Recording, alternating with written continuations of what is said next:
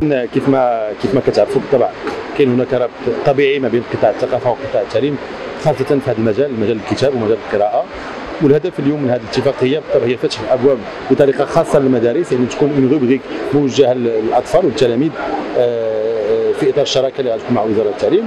ولما لا غدا الفكرة هو يكون كذلك مكاتب حتى في المدارس آه، اللي كتعرف المملكة على صعيد على صعيد الوطني خاصة أن في بعض المناطق للأسف لولا هذه الاتفاقية والتحرك اللي غيكون يعني في, المستقبل يمكن ما نبقاوش كاع هذا الكتاب اللي كنتكلموا عليه. فالاجتهاد غادي في هذا المجال آه، خاصة في اطار في إطار يعني يعني يعني لافونسمون اللي كنعرفوا على الصعيد الدولي بالنسبة للتكنولوجيات الحديثة القراءه القراءه القراءة المرقمنه اذا قدرنا نسميوها بحال هكا اللي اللي كتعرف واحد يعني واحد وجود بقوة اليوم. نعم خصها تكون لأنه c'est une évolution عادية.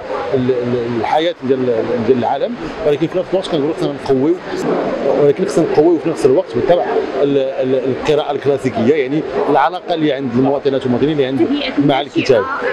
وبالطبع هادشي خصنا نبداو من من أجيال صاعده من عند الأطفال لأن إلا كانت الأجيال اللي قديو ولا اللي فاتونا شوية عندهم علاقة طبيعية مع الورق ومع الكتاب أعتقد أن في إطار يعني التطورات اللي كيعرفها العالم هذه آه، آه، العلاقة الطبيعية يمكن يمكن ما تبقاش في المستقبل.